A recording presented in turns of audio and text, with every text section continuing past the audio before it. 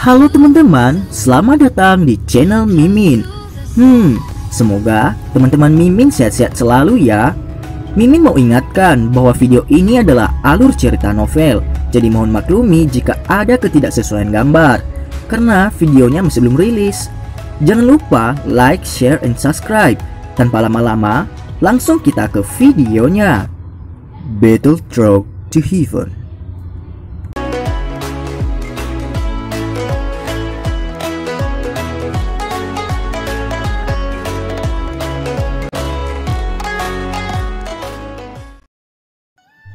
Melanjutkan dari cerita sebelumnya. Hanya ada suara detak jantung yang tahan lama dan tenang Yang bergema dalam ruang itu yang sunyi dan sepi. Setelah memasuki kondisi pelatihan Kemampuan Xiaoyan untuk merasakan energi alami di sekitarnya menjadi lebih tajam. Dia bisa merasakan energi panas di dalam ruang pelatihan ini yang sangat kaya sehingga membuat satu orang terdiam. Ketika berlatih di tempat seperti ini, orang-orang yang berlatih afinitas api metode Ki tidak diragukan lagi akan mendapatkan efek yang lebih menonjol dibandingkan dengan yang lain. Jiwa Xiaoyan menjadi lebih tenang. Tiba-tiba suara rendah dan sedikit muncul. Segera sekelompok benih api yang tampaknya tak terlihat yang berisi gelombang yang aneh muncul di tempat yang tidak jauh dari hati Xiaoyan tanpa peringatan sebelumnya. Kekuatan kehangatan dipancarkan, memanggang interior tubuh Xiaoyan sampai panas mengepul. Pikiran Xiaoyan terfokus pada gumpalan api tak terlihat itu. Dia sekali lagi merasakan ketakutan karena sulitnya hati api jatuh. Meskipun dia saat ini dalam kondisi yang sangat siap, dia masih tidak merasakan bagaimana gumpalan api ini muncul. Xiaoyan mendesah pelan di dalam hatinya. Dia menatap dengan penuh perhatian pada gumpalan bibit api ini. Cluster saat ini tidak diragukan lagi tampak sedikit lebih kuat daripada yang telah dijumpai Xiaoyan kemarin. Kemungkinan karena ini adalah ruang pelatihan kelas menengah. Menyusul kemunculan gugusan Fallen Heart Flame, jenis perasaan terbakar di jalur kinya yang ia rasakan kemarin mulai muncul sekali lagi. Namun Xiaoyan tidak menggunakan Green Lotus Core Flame untuk mengisolasinya seperti sebelumnya. Setelah memahami metode pelatihan di sini, dia sudah mengerti bahwa membiarkan jalur ki tulang, otot, dan bahkan sel-sel perlahan-lahan bertahan dan berkembang di bawah rasa sakit yang membakar ini adalah tautan yang sangat penting dalam pelatihan di dalam menara pemurnian ki api langit. Karena itu jika dia mengisolasinya, keuntungan yang akan dia peroleh akan semakin kecil. Dengan cara itu, dia akan kehilangan lebih dari yang dia dapat. Xiaoyan mengatupkan giginya dan menahan rasa sakit. Gumpalan bibit nyala api yang tak terlihat itu melonjak dengan lebih padat. Suhu tinggi yang melengkung ke atas merembes keluar dan sepertinya telah membentuk oven di tubuhnya. Semua organ dan bahkan jalur ki di dalam tubuh seseorang sedang disempurnakan dalam oven ini. Selain itu mereka berulang kali menjadi lebih kuat di bawah penyempurnaan ini. Rasa sakit terbakar yang diciptakan dari suhu tinggi menyebabkan jalur ki di tubuh Xiaoyan sesekali berkedut sangat sedikit. Namun beruntung bahwa rasa sakit seperti itu bukan tidak mungkin untuk bertahan.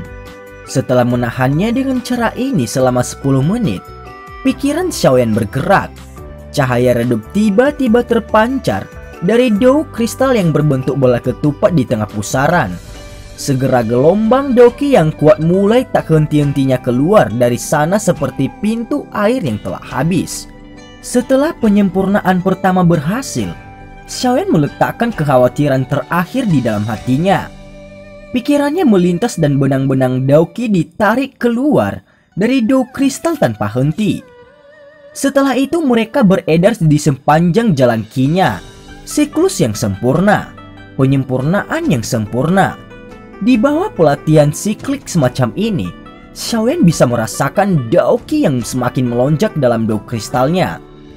Menurut kecepatan ini, kemungkinan dia akan dapat mencapai puncak Dadoshi bintang 6 tanpa banyak waktu dan menerobos ke bintang 7 Dadoshi dari ini. Seseorang tidak memiliki konsep waktu saat latihan yang tepat. Ketika semua orang dengan cepat meningkatkan kekuatan mereka jauh di dalam diri mereka, ada dorongan yang tampaknya menyebabkan mereka ingin berlatih sampai mereka maju ke tingkat berikutnya.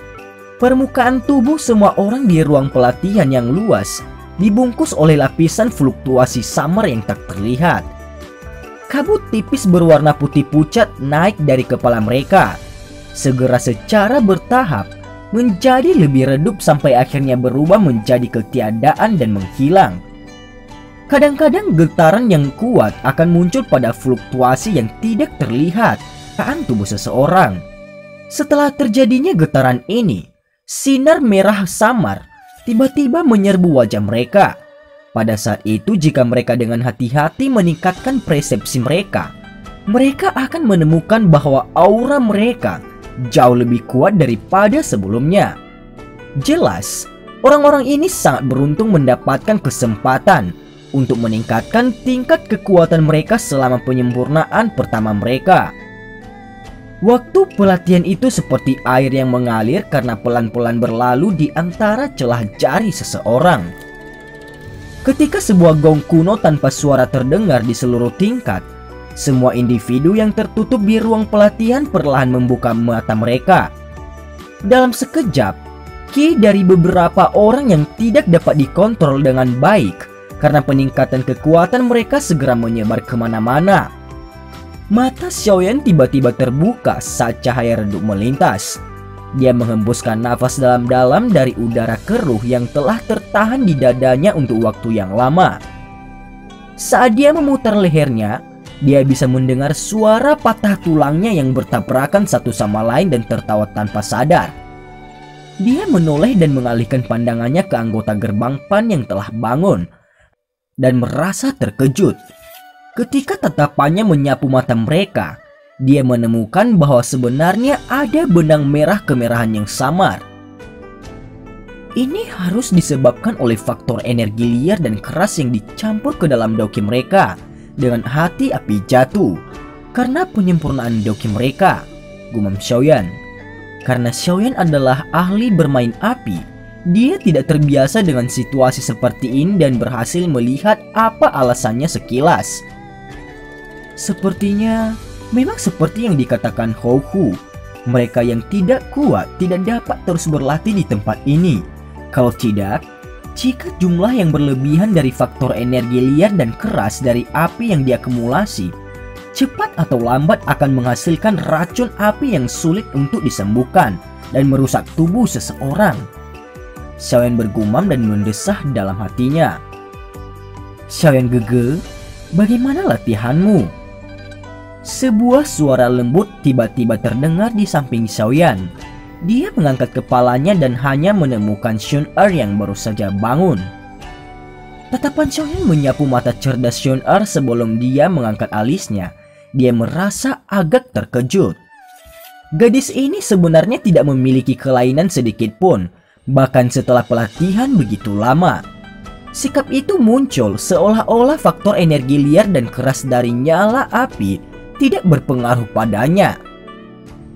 Gadis ini juga salah satu yang menyembunyikan kekuatannya. Xiaoyan bergumam, dia sekali lagi menoleh ke tempat Huje dan Wuhao berada dan menemukan bahwa ada gumpalan cahaya merah yang sangat samar di mata mereka. Jelas mereka yang kekuatan permukaannya mirip dengan Xiaoyan dan Shun Er juga menderita erosi dari faktor energi liar dan keras dari nyala api. Xiaoyan menjabat tangannya dan kartu kristal api muncul di tangannya. Dia menggosok permukaan cermin yang halus dan menatap dirinya sendiri untuk sementara waktu, hanya untuk menyadari agak mengejutkan bahwa jejak-jejak erosi sebenarnya tidak muncul di matanya. Dengan inti api teratai hijau yang melindungi tubuh Anda, anda dapat memperbaiki doki Anda tanpa rasa takut. Meskipun api inti teratai hijau tidak dapat dibandingkan dengan Fallen Heart Flame dalam hal peringkatnya dalam tingkat api surgawi, Ini agak angan-angan jika hanya tubuh kecil ini yang menyebabkan kerusakan pada Anda yang memiliki perlindungan dari inti api teratai hijau. Adapun pacar kecilmu itu, kemungkinan dia memiliki beberapa benda misterius untuk melindungi tubuhnya. Ucap Yao Lao. Suara Yao Lao perlahan-pelan terdengar di hati Xiaoyan tepat ketika dia merasa ragu-ragu. Xiaoyan hanya bisa tiba-tiba mengerti ketika dia mendengar ini dia mengangguk tanpa meninggalkan jejak. Hatinya bersuka cita sedikit ketika dia bertanya, Kalau begitu, aku bisa terus tinggal di menara pemurnian Ki Api Langit ini untuk berlatih dan tidak perlu beristirahat untuk menyelesaikan faktor liar dan keras itu, ucap Xiaoyan. Ya, selama Anda bisa menahan ketangguhan pelatihan, Anda yang memiliki inti api teratai hijau dapat mengontrol waktu pelatihan sesuka Anda. Yaulo tersenyum ketika dia menjawab, Hahaha, saya sudah mengalami kesulitan ini selama beberapa tahun. Apa yang tidak bisa saya tahan? Xiaoyan tertawa lembut beberapa sukacita tanpa sadar muncul di wajahnya. Dengan inti api terata hijau yang melindungi tubuhnya, dia bisa latih di menara akan jauh melampaui orang lain. Jika ini masalahnya, kecepatan latihannya juga akan jauh melebihi orang lain. Sepertinya aku perlu mencari alasan untuk tetap berada di menara untuk berlatih. Saya tidak bisa begitu-begitu saja membuang waktu yang berharga ini tanpa alasan. Jika aku bisa mencapai kelas Dowling lebih awal, aku akan memiliki kekuatan untuk merebut Fallen Heart Flame ketika ada kesempatan untuk itu di masa depan. Sebuah pemikiran melintas di hati Xiaoyan dia berdiri dari peron batu hitam dan melintas turun darinya. Setelah itu dia mengulurkan tangannya menemukan Shun Er dan menceritakan beberapa rencananya di samping telinganya. Shun Er mengangguk setelah merasakan kejutan di hatinya. Dia fokus pada wajah Xiaoyan yang agak bersemangat sebelum berkata dengan lembut. Kamu bisa tenang, serahkan urusan gerbang pan kepada kami bertiga. Anda hanya perlu merasa nyaman dan berlatih ucap Shun Er. Xiaoyan menunduk dan menatap wajah yang elegan dan halus itu. Untuk beberapa alasan yang tidak diketahui, sedikit riak muncul di hatinya yang tenang. Gadis ini benar-benar menjadi semakin cantik selama bertahun-tahun. Setelah pergi untuk berlatih selama bertahun-tahun, sangat sulit bagi Xiaoyan untuk bertemu dengan seseorang wanita yang penampilan dan sikapnya dapat bersaing dengannya. Xiaoyan menggelengkan kepalanya dengan sekuat tenaga dan untuk sementara membuang pikirannya. Dia dengan lembut menepuk kepala Shun Er sebelum berbalik dan berjalan keluar dari ruang pelatihan sendirian. Sekarang, dia perlu menggunakan beberapa koneksi agar nyaman dapat terus tinggal di menara untuk berlatih. Karena dia mendapat bantuan dari inti api teratai hijau, itu benar-benar tidak akan dibenarkan jika dia tidak meraih kesempatan unik ini. Setelah Xiaoyan berjalan keluar dari ruang pelatihan, dia menyadari bahwa seluruh menara berada dalam situasi yang sangat sibuk. Cukup banyak pintu ke berbagai ruang pelatihan yang tertutup rapat dibuka semua. Sekelompok besar orang berkerumun dan dengan cepat berjalan ke pintu keluar menara. Xiaoyan bisa melihat cahaya merah samar di mata semua orang ini. Xiaoyan sedikit ragu ketika dia berdiri di luar ruang pelatihan. Setelah itu ia masuk ke aliran manusia dan dengan cepat berjalan menuju bagian tengah menara. Terowongan ke tingkat selanjutnya harusnya ada di sana. Jelas bahwa seseorang hanya dapat memiliki satu hari pendek tinggal di tingkat pertama ini. Tampaknya dia perlu turun ke beberapa tingkat jika dia ingin melanjutkan pelatihan. Xiaoyan mengikuti arus manusia saat ia meremas dan bergerak. Tubuhnya dengan gesit maju ke depan dalam jarak yang sangat pendek. Ini berlanjut selama kurang dari 10 menit ketika aliran manusia yang menghalangi di depannya secara bertahap menjadi lebih tipis. Dia membalikkan tubuhnya dan sepenuhnya keluar dari kerumunan manusia. Desah lega dilepaskan dalam hati Xiaoyan. Tatapannya baru saja menyapu sekelilingnya untuk mencari terowongan untuk masuk ke tingkat berikutnya. Ketika sesosok manusia tiba-tiba melintas di depannya, segera suara yang dalam yang menahan nada mengeluh terdengar oleh telinga Xiaoyan. Kamu, orang ini, apakah kamu tidak tahu aturannya? Jangan katakan padaku bahwa kamu tidak tahu bahwa dilarang untuk menyerang secara acak di dalam menara setelah gong berbunyi. Sosok manusia yang muncul di depannya menyebabkan Xiaoyan buru-buru berhenti. Dia mengangkat pandangannya hanya untuk menyadari bahwa pihak lain adalah pria parubaya yang kira-kira seusia dengan Hou Hu. Dia juga mengenakan lencana instruktur di dadanya Sepertinya dia harus mirip dengan Hou Hu, seorang instruktur yang bertanggung jawab atas ketertiban di dalam menara. Karena pihak lain adalah seorang instruktur, Xiaoyan tentu saja tidak berani berkeliaran secara acak.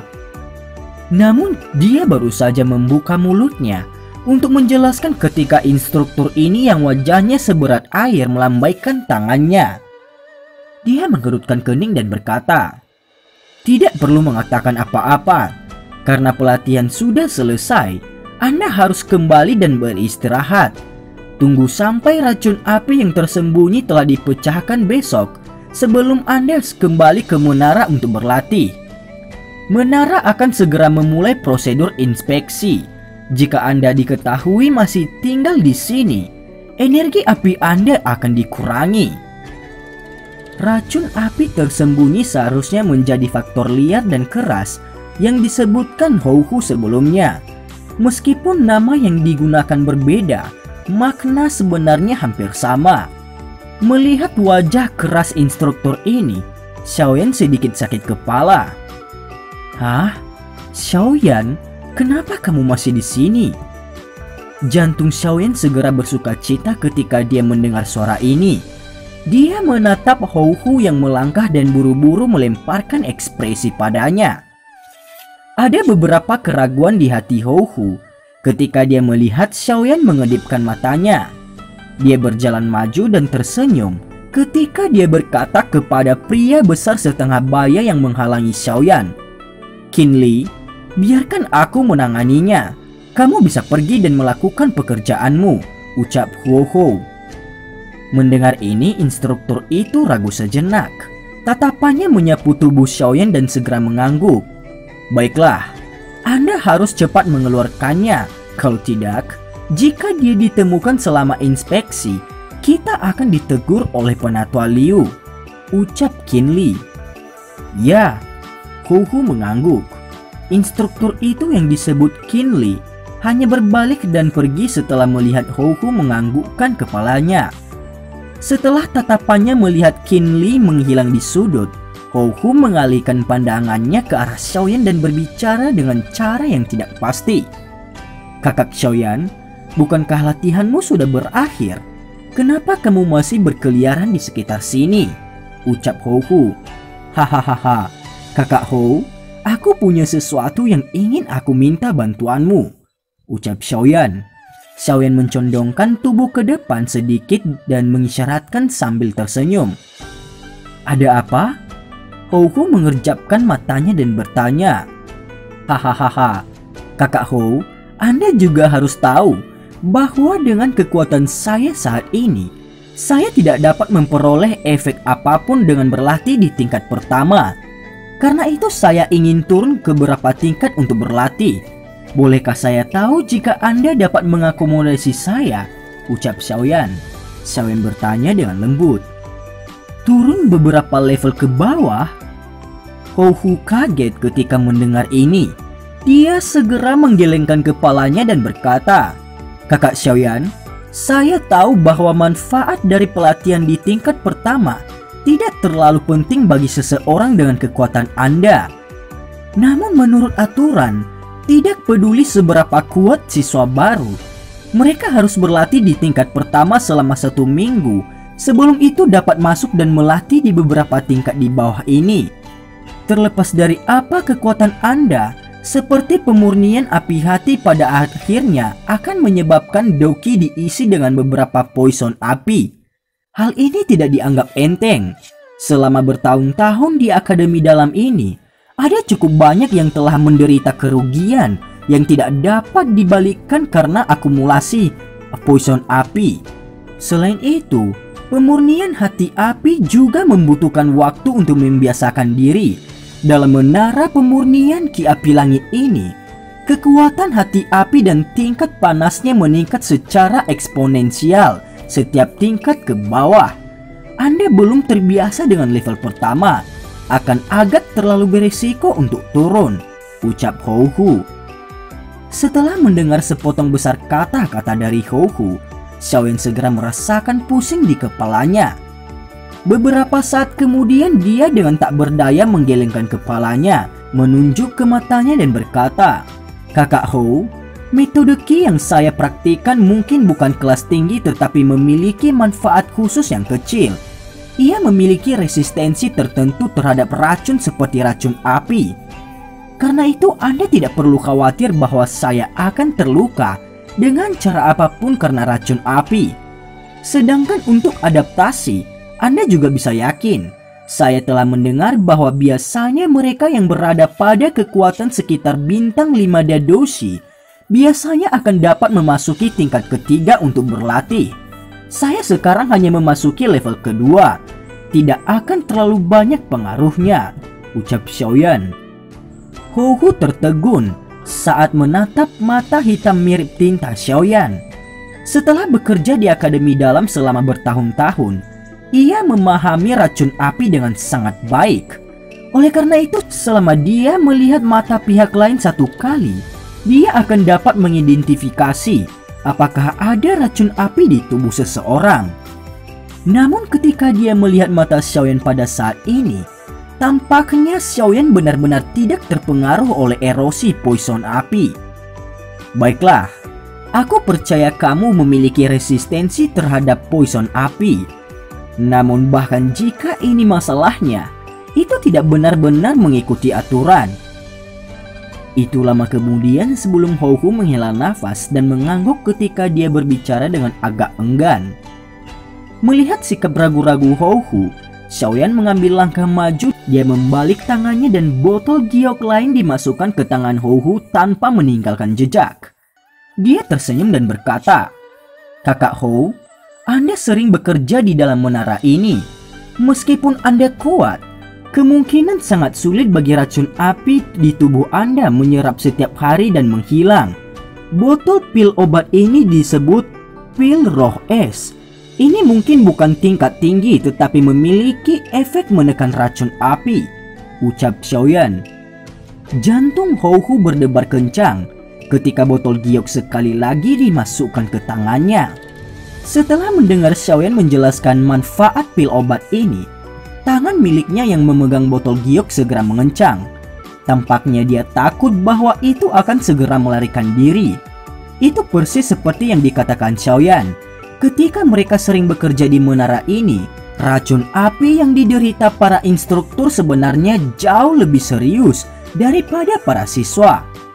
Selain itu ada masalah tambahan karena tidak cukup istirahat sesekali karena itu sulit untuk sepenuhnya menyelesaikan masalah racun api di dalamnya. Setelah melanjutkan dengan cara ini untuk waktu yang lama, itu tidak dapat dihindari bahwa nyala api di hati mereka akan meningkat sesekali. Itu mengakibatkan masalah selama pelatihan mereka. Semua orang tahu bahayanya jika terjadi kesalahan dengan latihannya. Oleh karena itu ketika Hou Hu mengetahui bahwa pil obat ini sebenarnya mengandung efek menekan racun api, hatinya dipenuhi dengan kejutan dan kegembiraan pada saat ini. Meskipun itu hanya memiliki efek penekan dan tidak bisa mengeluarkan racun api, Hohu masih sangat puas. Karena itu setelah merenung sejenak dia tertawa getir dan mendesah. Tatapannya menatap Xiaoyan yang agak aneh dan berkata, Hal-hal yang kamu ambil selalu menyebabkan orang enggan menolak permintaanmu. Ah, baiklah. Saya akan mengambil resiko untuk Anda hari ini. Ikuti aku, ucap Hou Hu. Begitu dia mengatakan itu, mata Hohu dengan cepat menyapu sekelilingnya. Setelah itu dia menarik Xiaoyan melewati sudut sebelum dengan cepat berjalan ke suatu tempat di tengah ruangan. Xiaoyan menghela nafas panjang lega saat dia mengikuti di belakang Hohu. Penyempurnaan pil roh es ini mungkin sedikit rumit tapi itu tidak sulit. Benar-benar tidak terduga bahwa itu benar-benar memiliki efek unik ketika digunakan untuk menyuap orang. Itu benar-benar adalah sesuatu yang digunakan di area yang paling cocok. Setelah mengikuti di belakang Hohu selama hampir 5 menit, Xiaoyan akhirnya merasakan bahwa Hohu telah perlahan-lahan mengurangi kecepatannya. Matanya melihat ke depan dan secara kebetulan bisa melihat ada tangga berbentuk spiral di sudut tidak jauh. Itu kemungkinan pintu masuk ke tingkat berikutnya. Untungnya, saya menjaga pintu hari ini. Kalau tidak, aku benar-benar tidak bisa mengecewakanmu. Jangan bergerak, hati-hati. Ada kaca ruang yang ditempatkan di sini. Anda hanya akan pulih oleh gaya yang terkandung di dalamnya jika Anda mengisi daya secara acak. Nasib itu adalah paling tidak terluka parah, ucap Hohu. Hohu dengan cepat berjalan ke pintu masuk tangga. Dia mengatakan kata-kata itu sebelum dia buru-buru memegang Xiaoyan yang ingin berjalan di sekitarnya. Hanya setelah diingatkan oleh Hou Xiaoyan menyadari bahwa ruang di pintu masuk memang memiliki perasaan samar terdistorsi. Segera dia melepaskan keringat dingin agar tidak terkejut. Interior menara pemurnian ki api langit ini benar-benar memiliki berbagai mekanisme dan perangkap di sekitar jika seseorang tidak berhati-hati, dia akan terluka parah. Setelah mengejutkan Xiaoyan sampai diam-diam, Hu mengelurkan tangannya dan melepaskan lencana di dadanya sebelum dengan hati-hati meletakkannya di lekukan tersembunyi di dinding ke samping. Ketika lencana menekannya, sedikit fluktuasi tiba-tiba muncul di ruang di depan. Dalam waktu yang diperlukan untuk berkedip beberapa kali, Xiaoyan menyadari bahwa perasaan ruang yang terdistorsi telah sepenuhnya menghilang. Bisakah saya masuk sekarang? Xiaoyan bertanya dengan hati-hati. Ya, kaca ruang sudah hilang. Anda sekarang bisa turun sendiri. Setelah Anda masuk, saya terus mengawasi tempat ini. Hanya besok pagi ketika pintu menara dibuka, tempat ini juga akan terbuka. Hohu mengangguk dan berkata, Saudara Hohu, terima kasih banyak. Xiaoyan bersuka cita ketika mendengar ini. Dia menangkupkan tangannya ke arah Hohu dengan rasa terima kasih. Sebelum dengan hati-hati mengulurkan tangannya ke ruang kosong di depannya, dia menyentuh sekitarnya sebelum dia merasa nyaman saat dia berjalan menuruni tangga. Ingat, jika kamu tidak bisa menahan panggangan api hati di tingkat kedua, Cari tempat untuk beristirahat. Kembalilah untuk berlatih setelah menara dibuka besok. Hohu mengingatkan Xiaoyan. Hahaha, dimengerti. Terima kasih banyak saudara Hohu. Pengingat baik Hohu menyebabkan Xiaoyan tersenyum dan menganggukkan kepalanya. Dia sekali lagi menangkupkan tangannya ke arah yang pertama. Dengan kilatan tubuhnya dia masuk ke sudut tangga spiral dan menghilang. Hou melemparkan botol giok ke tangannya sebelum dengan hati-hati menyimpannya. Dia mengamati tempat yang telah menghilang dari Xiaoyan dan menghilang dengan lembut. Dengan suara lembut dia berkata, Anak kecil, pelatihan di tingkat bawah memungkinkan Anda untuk berlatih lebih cepat. Tetapi itu merupakan prasyarat bahwa Anda dapat menahan jantung api. Semoga kamu benar-benar bisa bertahan, ucap Hou dan cerita pun bersambung. Terima kasih telah mendengarkan Mimin sampai akhir ya, dan sampai jumpa.